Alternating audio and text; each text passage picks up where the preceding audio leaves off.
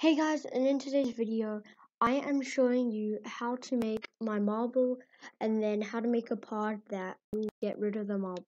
So, if I go and play, step on this, I'm in the marble. This one's controllable because I have to go and actually touch this.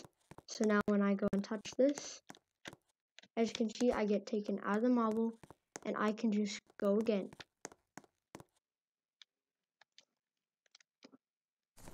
So yeah.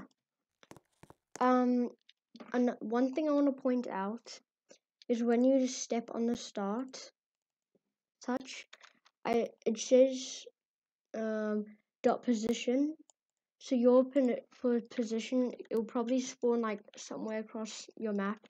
So what you want to do is insert a part where you want your marble to be and lift it off the ground a bit, and then go ahead and go ahead and take the position, copy it, go into the start touch, and where it says marble dot position, put your numbers in there.